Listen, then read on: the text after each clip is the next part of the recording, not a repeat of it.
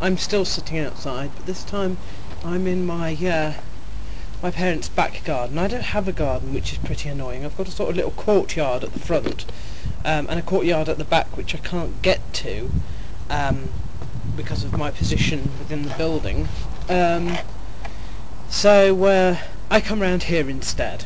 Um, quite a lot to report this week. In fact, it's been the uh, first week of November, which means um, we started with uh, what in the Christian calendar is called All Saints' Day. Now, it's quite an important um, occasion for me because when I was in London, I worked uh, at St Paul's Cathedral, and uh, the 1st of November happens to be an anniversary. It was the anniversary of the day that I got confirmed um, as a member of the Anglican Church uh, in St Paul's Cathedral. So quite an important uh, uh, date for me to remember that. Um, the 3rd of November is another, um, or was another, uh, festival within the liturgical calendar called All Souls Day. Um, it's the uh, date that the churches really do all their requiem masses. Um, it's a day where you basically remember all all the Christian dead. Um, uh, and again, you see, I quite like that um, that idea. So uh, of honouring the dead like that. So it's it's uh, it's a time I like the start of November. I do like the start of November with those two festivals.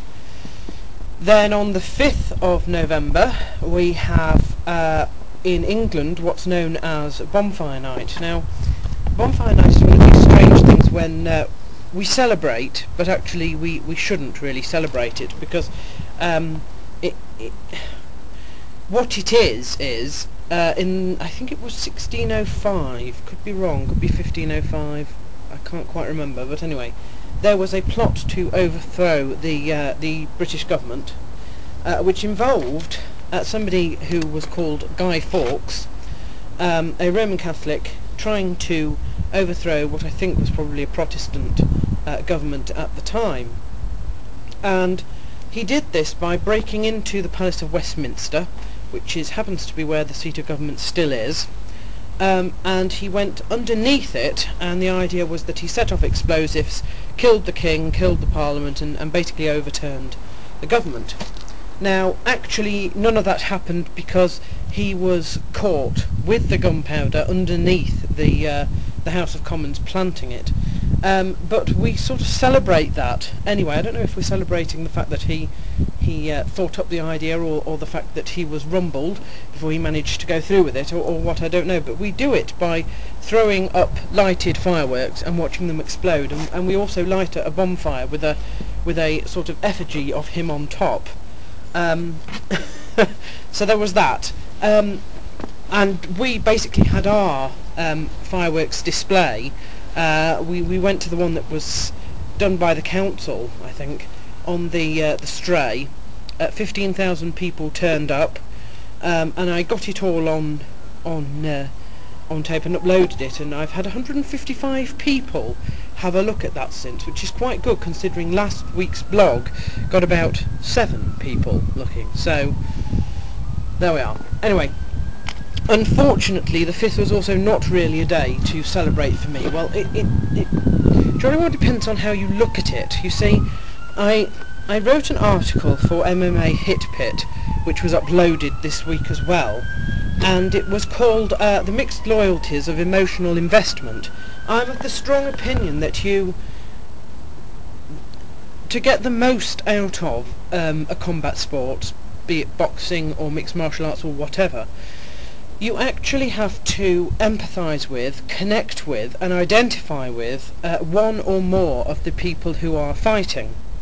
Um, to do that, you have to really know the person or, or their character um, uh, in order to sort of do that. Now, the main mainstay for this and where I came from was actually sort of professional wrestling, in which um, a, choreographed sort of morality play, if you like, is put out, and the idea is that you identify with one or the other um, and you uh, you can sort of um, you can have all the enjoyment of reversing a, a power discourse um, by sort of watching sort of two people, and, and it's a drama. It's a, it's a choreographed sort of uh, dance, if you like. It is not a sport.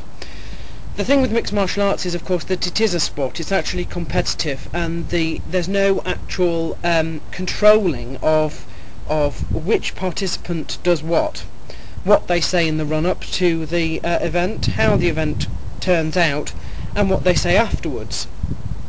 Um, and of course, people who know me very well will know that my favourite fighter, Jens Pulver, dropped another one um, this this past week at WEC. It was actually supposed to happen about two months ago, but uh, the bout was uh, postponed due to uh, bad weather.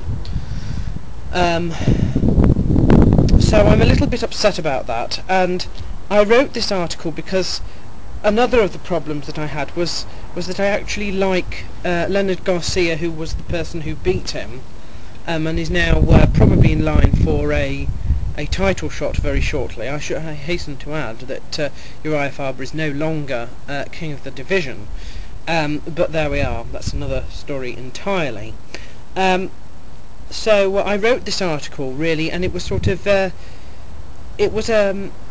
I didn't deliberately write it for the site. I offered it to them after I wrote it. I wrote it as a sort of uh, sort of working something out in my own mind about the sort of difficulties of being a fan in this age where you identify with with uh, both sides of the competition and you are sort of emotionally invested in their welfare really. And it's a, a lose-lose situation because it doesn't matter who wins you know one of the people you would have liked to have won has lost. And there are you know career and financial and you know emotional and psychological sort of repercussions uh, for for that. So it's difficult. It was quite difficult. So that was uh, happened on the 5th, middle of last week. Same night as Bonfire Night. Um, so I wasn't really celebrating that. And uh, just trying to think what else. Ah, yes. And then uh, after that, I got my new issue of uh, Fighters Only magazine. You will remember that uh, a couple of weeks ago, uh, a couple of months ago rather, I managed to win uh, Letter of the Month award and a, and a T-shirt um, for uh, for criticising, shall we say, Hywel Teague, who I have to say I, I really like. He is the editor of Fighters Only now, um, and uh, he's a, an MMA journalist, and, and he really is one of the best in the world. Well, as far as I'm concerned. Um, really is. Uh, but I do like to dissect his um, his uh, articles and send back feedback. And uh, now I'm sort of getting published for it basically. Um, so I was published again this last month uh, not as uh, uh, um, letter of the month but uh, I think there's only about it's only a page there's only about six letters that are printed one of which is the letter of the month and, and the others are sort of worth publishing, I guess, um, as far as the management is concerned. So I'm, I'm quite pleased that, you know, in the last sort of four months I've been published twice by them. One uh, as Letter of the Month, so that's fantastic. Um, this week at work is uh, my last week before I go on holiday. My manager is, is already on holiday, another holiday this week, so I don't get to see him now until the end of December. Um, I'm looking forward to my two weeks holiday, uh, which begins sort of on the 16th of this month.